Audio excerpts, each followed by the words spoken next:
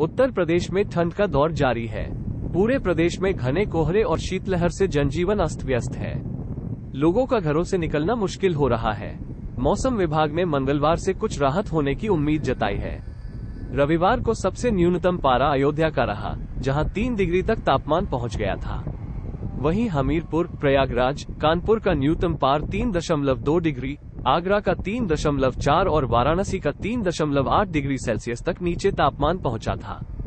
सोमवार को पूर्वाह 11 बजे तक प्रयागराज का तापमान 7.2, बहराइच का आठ दशमलव चार बरेली का 7.6, फुर्सतगंज का आठ गोरखपुर का आठ दशमलव चार झांसी का 8.2, लखनऊ का पाँच दशमलव चार मेरठ का सात दशमलव आठ डिग्री सेल्सियस तापमान रहा।